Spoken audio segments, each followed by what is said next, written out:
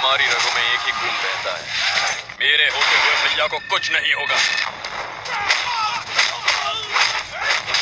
क्योंकि मैं अभी भी ज़िंदा हूँ। लड़ाखा, कल सुबह साढ़े ग्यारह बजे मैक्स और सोनी लिव ऐप पर।